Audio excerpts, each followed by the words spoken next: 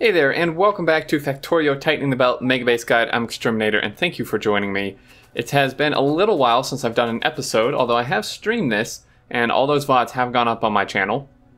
And uh, in the last stream near the end, what we did is we came up with a blue circuit build. So I want to show you guys this and kind of walk you through it a little bit. And uh, then we're going to hop on our train and go back down here, and I'm going to show you what I've done, and then we're also going to try to place down uh, the circuit build and try to get some connections hooked up for that. So pretty much, uh, here's the deal. We need to produce about 2,680 blue circuits uh, a minute, give or take a little bit.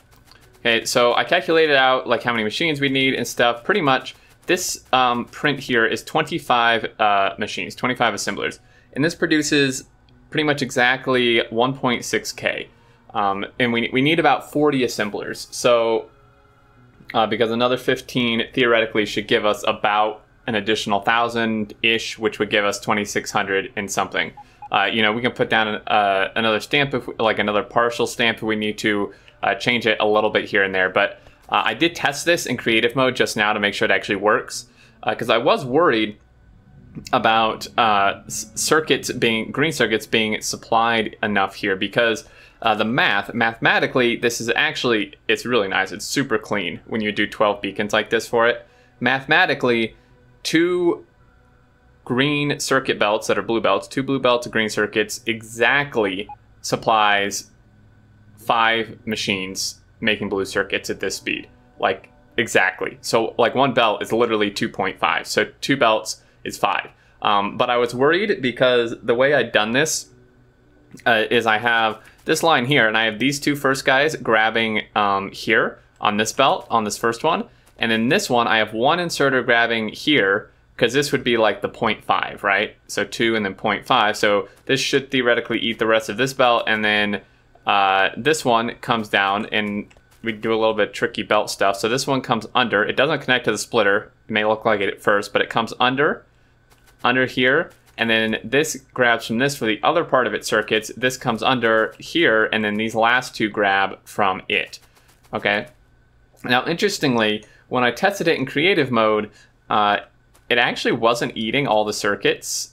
Like the whole thing wasn't eating all the circuits, which is a little weird because, like I said, mathematically this works perfectly. So theoretically, there should be almost no circuits left on the belts, um, but there was for some reason which is a little weird. Maybe like the creative sources are compressing the belt more than normal, but I don't think that's even possible. Um, so I'm not quite sure how that works, um, but it should work considering that our green builds actually give us fully compressed belts or, or pretty close because there was extra. So if it's not even quite a fully compressed green belt, it should still work. Um, so that's that. And then what we've done is we have red circuits uh, here. And also, mathematically, it works out pretty much perfectly that one blue belt of red circuits should theoretically support 25 machines. Um, again, though, when I tested it, there was still quite a few red circuits at the end of the belt at the very end. We weren't using them all, which I also find a bit odd. Um, but either way, what I've done is I run through this this through the middle. It's the same through all of this. It just goes through the middle. These guys grab it. You just need one inserter. And what this does is it actually comes out here loops back down and then goes the other direction through the next set and then comes out here and goes under and goes this way, this way, and then this way, and it ends right here. Okay. Um, now, I mean, obviously, I can make this more compact by not having it do this, but compactness is not really something I'm super concerned about because we're not going to be stacking or tiling this left to right. It's going to be up down, right? So we put like another stamp down here or something. Um, and then the acid comes in. Um, it may not come in from this side. I just did this temporarily, uh, but it will like actually hook up here. And uh, then we have substations, which powers everything, which is fantastic. And that's pretty much it. Now, in case you're wondering, because I actually made this mistake, I do want to make this clear. When I initially built this, I just made one inserter inserting greens because these need exactly 16 green circuits a second per machine. And in a stack inserter can move 27.7 items a second, but this is from a chest, like from a chest to a chest or from a chest to an assembler, um, essentially from one container to another. Uh, it cannot pick that much up off of belts, and I had forgotten about that. Um, thankfully, someone reminded me. Uh, so when you're pulling off belts, guys, make sure that you take that into account. The inserters do not nearly move as much from a belt into an assembler as they would from like a chest or a train or whatever into an assembler. So you do actually need two here, and I did test it with one just to be curious, and it did stop this like every like every production cycle because it didn't get enough circuits in time. Um, so you do need two for this particular scenario. So just keep that in mind when you're building with belts, uh, because the inserter, I mean, like when you watch it, right? The inserter has to like pick up each individual item, like in its like and and hold it in its hand from the belt and then put it in. Whereas in a chest, from like a chest to an assembler, it can just grab 12 instantly and then just put it in. Uh, or 13 or it's 12. Okay, so there you go. There's a green build. I'm pretty happy with it. Uh, like I said, I tested it. It works great. I'm really surprised, honestly. I expected there would be quite a few problems, but I'm actually very happy with how well it works. Uh, so we have that thing. I'll leave that over there just for kind of reference. And uh, we need to get some more materials here, and then we'll head over and I'll show you what I did um, with hooking up the red circuits and all that. And then we're going to try to place down uh, the blue builds here. So what all do we need? We need substations. I was making substations. I could have sworn. Um, I know that I was. I think we actually need quite a few for something. I don't really remember what. I think it, it's the red build, I think. I think the red circuit build uses substations. I'm, I'm pretty positive. So we're to head over, get in the train, and uh, go. We're making progress. Like, the, uh, and I, have said this time and time again, um, that it doesn't seem like we've done much because we've only done three things, smelting, circuits, and red circuits. But these are typically the biggest in a mega base. These are the biggest builds you're going to do by far. Uh, like, if you look at my Sending Supporters to Space series and you look at that map, literally like half of the map, like half of the entities on the map or more, is smelting in circuits. Which I think I discussed last episode, which I think is really kind of on like just really lopsided. But so once we finish these, it's actually a huge milestone, even though it's technically only four things. You know, the smelting greens, reds, and blues. Um, even though it's technically only four things, it's like in comparison, the other builds are going to be like minuscule. I mean, sure, we have to design them, which will take a little bit, but like the um, the size of them and stuff we actually need to place down is going to be minuscule compared to to what we've already done here. So we're making progress. I'm really happy. It's it's going pretty well. Um, there's a little bit of belt wonkiness um, here and there, but we can clean it up. Uh, so what was done with the red circuits, and these are pretty much entire, this build's almost entirely built, I think, except for the substations, maybe some modules. Uh, but so this, these are the copper belts, okay? So these come down for red circuits, and uh, we have a total of one, two, three, four, five, six, seven, eight of them. Um, this only needs a little more than seven. So what we've done is, is uh, this guy comes down here. This, get, this gets a little bit confusing. Um, and he goes here underneath and goes to this, and we have it set priority to go this way. Okay, and then the next belt over comes over and goes here, and this is set priority to go this way, and the rest goes to this, which priorities this way, so on and so forth throughout the build. Um, each one comes over, as you can see, less and less, um, and comes down to here. Okay, and then the green circuits, I think, was already hooked up last time. Uh, this is some of the wonkiness. It's like kind of doesn't look great, but uh, we can fix that later. This comes in and splits, so half belt here, and then half belt there, and then the full belt here. Um, although this doesn't actually connect, strangely enough. I'm not sure why that got changed. In fact, that one works. Maybe that's the only broken one. Yeah, it should be. Um, okay, so then these come over here, and uh, then this is plastic. Plastic may end up coming in from the top, I'm not sure. Um, but this is one plastic belt. Uh, this is a green circuit belt. Yeah, and then I don't really know what this is. The hell is this? Because this isn't actually hooked up. I actually have no idea what this is. oh dear. Uh, that is supposed to be... I don't know. What what on earth is this? Is this plastic? This is plastic, right? You need like a belt and a half of plastic, I think. Yeah, okay, yeah, because this is the half belt and this is a full belt of plastic.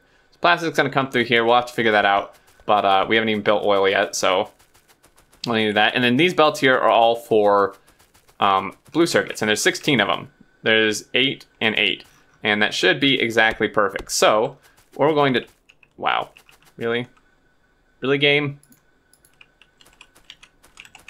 Um, so what we're going to do is we're going to place the blue circuits. Now we could place them here, but the problem with that is then we'd have to bring reds all the way back around. Uh, we could, I could change the red belt so that it starts on this side actually.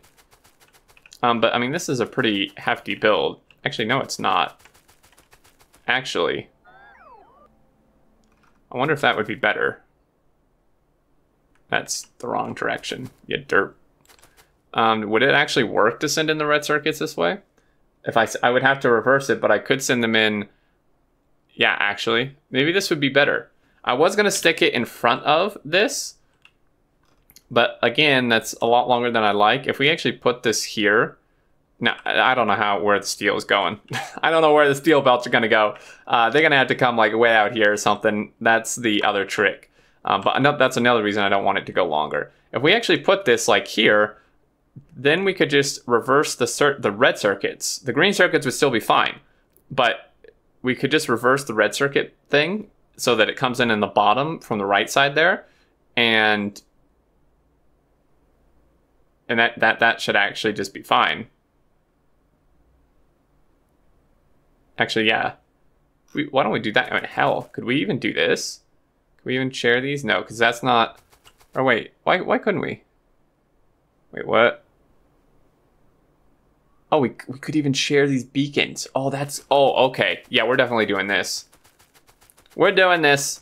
Uh, I'm putting it closer to the green circuits because uh, there's a ton of green circuit belts that need to run, so it's more belt efficient to have the green circuit belts run the shorter distance. Um, you know, because we only need one red circuit belt. So if it has to run from the end of this all the way over, that's fine. Instead of running, you know, 16 or 18 um, it's 16. Uh, green belts all the way down. I hope that makes sense. We are missing some modules there too. Uh, but if we do this, boom. Uh, and then we just need to change around the red belt, which shouldn't be that difficult at all. It's just going to be changing some directions and changing the input a little bit, but it should not be an issue whatsoever. And we get to share those beacons, which is even more fantastic. Uh, you know, the greens still come in from the correct side. And uh, we just need, so this thing here, this takes 10 green belts. And then, then we would do uh, three more stamps because we have six belts left in each, or three more, by stamp, I mean a section of five, I should clarify. Uh, so pretty much, we just need three more rows, I should say.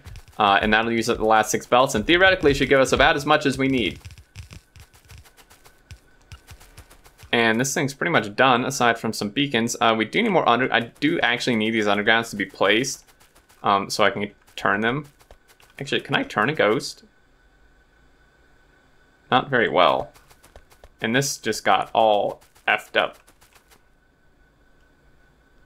Yeah, something happened there. I'm not quite sure what. We'll have to change that. It'll be a lot easier to change once uh, we actually have the belt, or the, the undergrounds there. Um, so we need modules, we need beacons, we need belt, pipe. Okay, that's fine. Let's go grab that stuff. And uh, I mean, this this is actually super easy. The the blue build out of everything, it's because it's the smallest out of all of this, but the blue build has actually been the easiest by far. Like hooking it up is a breeze um, and stuff. It's it's really nice because like here's the thing, right? When you this is kind of I mean, it depends on the situation. It is situational, but um, typically, like for me, it's, uh, wow, we do not need that many inserters, holy hell. Um, like the farther into things, like the farther into the base building you get, the easier each step becomes, usually. Sometimes that's not the case, like anyway, sending supporters to space, each one got more complicated because of the train routing. But we're not really dealing with that same type of thing here. Uh, they need a pipe too, I think. Uh, I'm gonna take even more undergrounds because Oh, I don't have room, apparently. Uh, okay, let's throw a beacon back. Uh, because, like, you know, now that we had green and red circuits done, blue circuits are a cinch. You know, because like for me, the hardest part is planning out like where the smelter is going to go, where's the green's going to go in comparison to that, where's the red's going to go in comparison to that, and and such. But now that we have these done, so like the next step, you know, like the first science or whatever, once we design the build, it should be super simple because like you literally just take the belts you already have, the iron belts and the which I don't actually know how these iron these iron belts gonna have to go out here too, but um, you take the iron belts and, or circuit belts or whatever else you need, and you just stick them into the build, and it's done. Like, and that's pretty much what we had to do here. But there were way more belts. The routing was way, way more difficult and stuff. So if you guys are having trouble, just know that once you get over that hurdle, usually it's uh, it actually just becomes easier. Usually. Uh, okay, so make sure all this stuff gets placed. I think, I mean, we're still missing modules and stuff. I'm gonna have to do like a once over on all my builds to make sure the modules are in. Uh, but so what we need to do here then with the red circuits is this is where this ends, right? Well, we need to change this whole direction of things. Belt's already here, but I'm gonna redo it. So this goes like this. This guy's gonna come under, could actually extend out, use the full length. This guy's gonna go like that, use the full length again. I don't think I actually used the full length here, but I had to end it there. Uh, and then this, just R over it to rotate, and just boom, boom, boom. Um, this will be a little bit annoying, changing the direction of these belts, but totally not that big of a deal. I think this is better than like winding around the red circuits like outside the build. Because that's extra belt and it's extra messy. We're not actually using extra belt here. We're just changing the direction of what we already have. And this is all gooped up. For some reason, I'm not quite sure what happened there. Like that. This thing can be pulled back. Just trying to clean this up a little bit. Um, hello? Not what I want, game. Okay, that direction. I don't know. Something got borked with the blueprint. I think when I made some changes and then re-blueprinted it in the creative world, something got a little messed up, but everything should still work fine once I catch these little oopsies here and there. Turn that, and boom, boom, turn him. And this should not at all affect how the inserters grab, theoretically. It shouldn't really change that, so because I actually I actually changed this once already, uh, so it definitely should work. Okay, so you go like that, you go like that. I didn't have to tear those up. I always like these new features, these newer features, like where you place this and then the belt in between goes away. I've been playing for such a long time. It's really hard for me to like incorporate these into my play style because I uh, I don't remember like that it even exists most of the time because it never used to exist. Um, Let's just go like that, like that. Okay, so you did that. Boom. Boom. Done. Done. And end, and then you're done there. Boom. Perfect. Fantastic. So now what we can do is get rid of, holy heck, why do I have so many blueprints? Alien balancer. I don't want that. I'll probably need that. but but that's fine. 12 to 12, I should probably keep that. Um, so what we're going to do, now that this is fixed, is we're going to take uh, the part where the input is, and we're going to take... Well, we actually need to cut these pipes.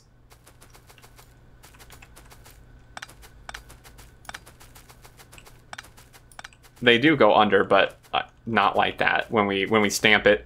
Uh, so what we're to do is we're, to take where the input is. Come on, man. Take where the input is, and we're to grab three rows. So one, two, three rows. Make sure that we get everything from this row that we need, which should be this, theoretically. Boom. Place that there.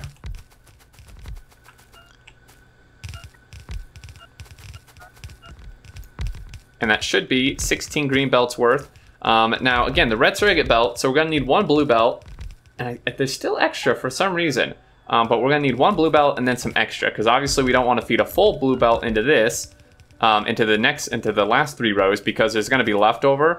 And since everything is ratioed out, if we just send a whole blue belt to these last three rows and then just let the excess sit here, something else in the base is gonna be short, right? So if five take a full blue belt, ish, they don't actually quite, but, um, well, uh, a yellow belt is a third of a blue belt. We may be able to get by with a yellow belt of red circuits to the last third. It may have to be a red belt. I'm not sure. That may just have to be a trial and error thing. I could math it out, but I did math it out actually at one point to figure out that a blue belt would work. So I could math it out again. I'm not going to do it on camera, but I'll figure it out. It's either going to be a yellow or, or a red belt that goes to the last three. And, uh, and I mean, that was, dang, that was easy, guys. I didn't expect it to be this easy. I got, you love it when things go this smooth. Uh, and the rest of the red circuit uh, belts are actually just going to go to the bus. Uh, you know, primarily they're going to be used for like blue science and the electric furnaces for purple science and uh, and all that stuff. So grab those. We were we had assembly. We were missing beacons, I believe grab some of these. Grab some of those. Run back down, and this should about do it. So I do still need to finish the steel build. Like, the, the builds are placed, we just have to finish placing it, which is a royal pain. Because there's just so many dang things to place.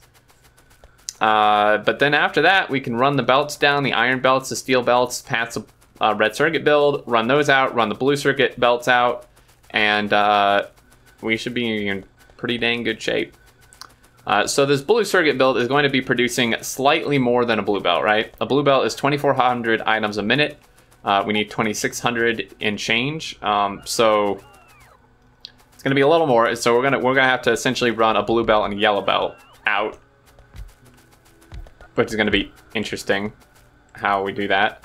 Um, I think our best bet is probably going to just be do like a however many belts this is. Uh, there's one, two, three, four, five, six, seven, eight rows. So like an eight to two balancer or something, or like an eight to four. Um, and then take a blue belt and a yellow belt out, and then just set priority on the splitter to blue belt to the blue belt side. So we just make sure we get the full blue belt. Uh, so there's that. We're still missing modules, and these are not connected just because uh, I'm a little bit of a derp. So this goes this way, or wait. Wait, what? Huh? Wait, what? Hold on.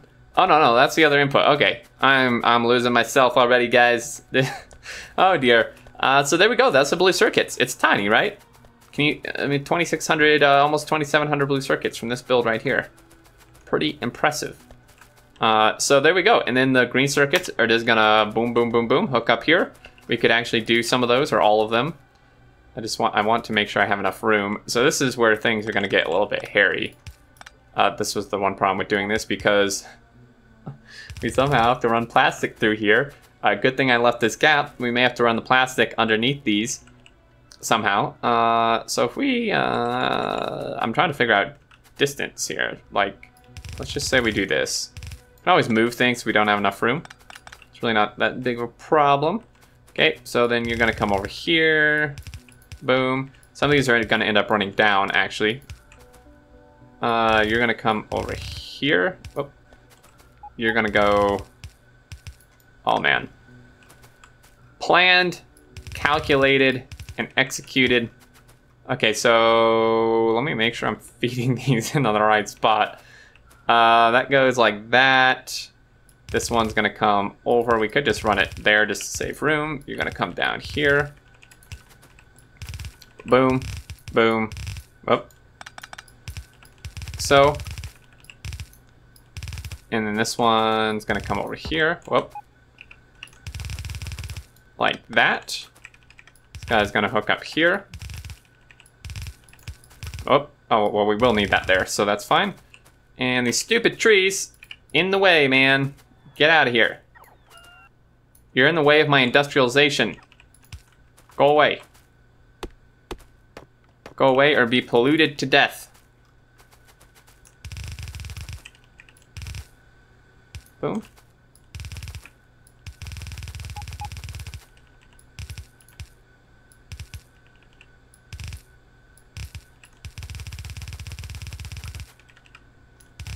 No! Alright, that's the one thing I don't like about that feature, is when you accidentally do that. And we didn't even have to move that. Man, today, if there's something difficult, like something that I think is going to be difficult that I need to do today, I should be doing it. like, like even non-Factorio related, man. Because everything is literally working out perfectly. So if if there's anything I need to do today that I think would be difficult, I need to just get on that and do it today. Because, I mean, look at this. We didn't even have to move that. Like, dang, man. And, like, and I'm not taking credit for this. Like, I mean, sure I can say it was calculated, but, I mean, come on. this is just luckily working out perfectly. And I love it. After all the headaches of the other belts, this is so, so refreshing. Oh, it's glorious. I mean, well, it looks a little bit wonky, but... Yeah, plastic is going to have to come in through here. Or it could come in through the top. Um, but I think I still want to do oil down here or something. Uh, so there we go, guys. Blue circuits hooked up, ready to go.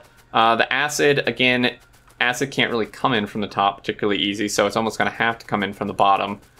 Uh, and there's tons of oil and water down here. I, I, I'm just going to do oil somewhere. I'm not sure where, but somewhere over here. Uh, so there you go. I'm going to call that an episode. I'm very happy with the progress we've made. Next episode, maybe oil, actually, because I want to get this stuff hooked up before I start building stuff on the bus. Otherwise, it's going to get kind of convoluted in my head. So, next episode, we may mess around with an oil build. Anyway, as always, thank you so much for watching. I hope you enjoyed and found it helpful. If you have any questions, uh, you know, as this is a tutorial and guide, definitely leave them down below or suggestions, comments, whatever. Let me know. And until next time, I look forward to seeing you all and do take care.